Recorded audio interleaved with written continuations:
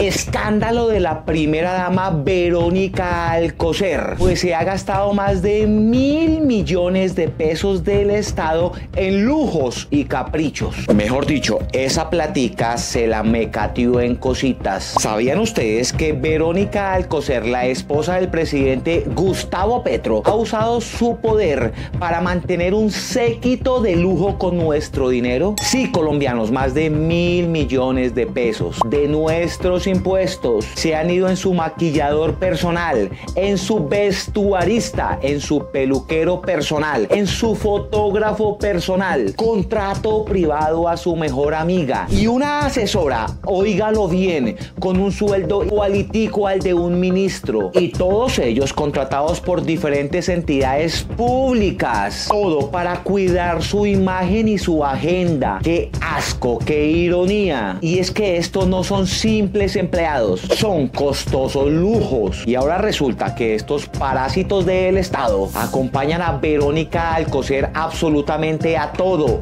a carnavales, a fiestas, a visitas internacionales, incluso a pueblos remotos. ¿Y quieres saber cuánto cuestan los honorarios? 30 millones solo en viáticos. Recuerde que su asesor privado gana igualito que un ministro. Son contratos multimillonarios. Por ejemplo, Fadi Flores es su estilista personal. El señor Mauricio Vélez, su fotógrafo de cabecera. Y detrás de cada imagen perfecta de Verónica Alcocer está su mejor amiga Carolina Plata, que también es la encargada del protocolo de la primera dama. También la señora María Antonia Pardo de Pro Colombia es la que maneja la forma que debe hablar la primera dama para que no se le vuelvan a escapar frases como con marihuana es más sabroso. Palabras textuales de Verónica Alcocer en un masaje erótico que recibía de parte de uno de sus amigos especiales. ¿Esto es trabajo real? Para mí que no. Para mí que aquí están lavando muchísimo dinero. No se le olvide que lo más alarmante es cómo se financian estos gastos, pues en la parte jurídica no tienen presupuesto oficial y todos los han disfrazado. Todos los viajes que ha tenido la primera dama en Colombia y en el mundo a través de la Consejería de Reconciliación, que antes era la administradora Eva Ferrer, que su esposo Gustavo Petro le hizo una nacionalización express para, según mi criterio, seguir robando al Estado. Pero como se agarró con Eva Ferrer por unos incidentes personales, pues la sacó a patadas y hoy estas dependencias los tiene su gran amigo Álvaro González, muy pero muy cercano a Verónica Alcocer. Cada vez que usted vea a la primera dama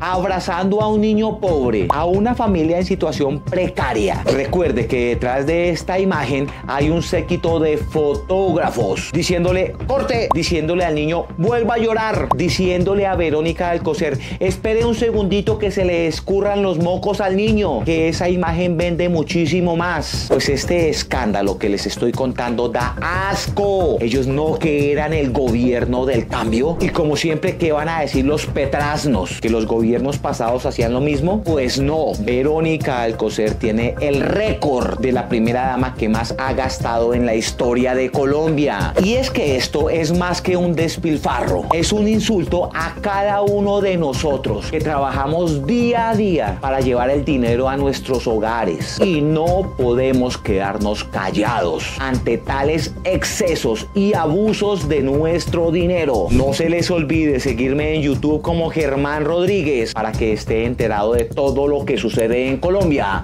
Y nos vemos en las calles.